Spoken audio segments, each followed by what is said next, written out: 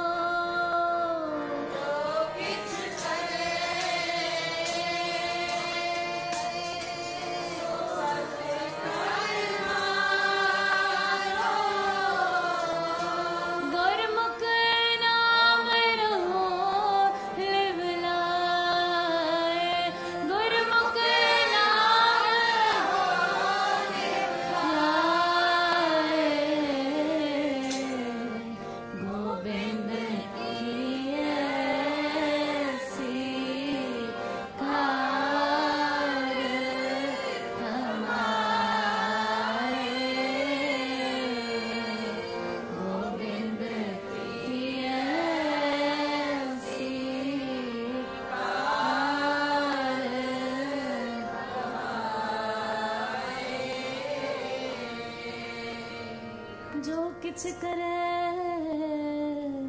सो सतकर्मनो गुरमुख नाम रहो। उपदेश जे देता